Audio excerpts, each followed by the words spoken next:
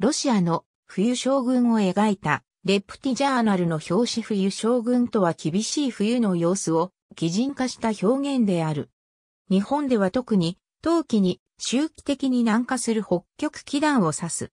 日本では冬将軍が到来すると、日本海側に強い降雪をもたらし、太平洋側では乾燥した北西風が吹き荒れる。標高の高い関東山地を越えて雪雲が東京に流れ込むことは少ない。しかし、太平洋と日本海が最も接近する名古屋敦賀の間は、回廊のような地形である、伊吹山地が雪雲の通り道となり、太平洋岸の名古屋周辺に雪をもたらす。朝鮮半島や中国東北部では、冬将軍は三寒四温となって現れる。冬将軍が到来すると気温は10度以上低下し、されば元に戻る。7月のソウルの月平均気温が東京とほぼ同じで、あるにもかかわらず、1月の月平均気温がソウルよりも高緯度の函館とほぼ同じであるのは、ソウルとシベリアとの間に海がなく、北極気団に直撃されるためである。ロシアに対する諸外国からの軍事的攻撃は、ロシアにおける冬の厳しい気候によって、過去に幾度も失敗してきた歴史がある。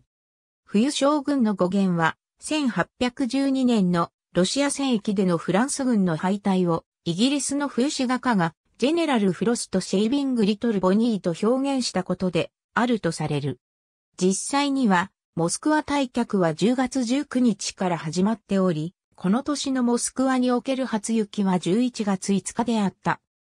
1812年ロシア戦役ロシアはその気候の利を生かして18世紀の大北方戦争、19世紀のロシア戦役、20世紀の独ソ戦においてそれぞれ交戦国であったカール12世のスウェーデン、ナポレオンのフランス、ヒトラーのドイツの軍隊に甚大な損害を与えたことは有名であり、いずれの敵も撃退されている。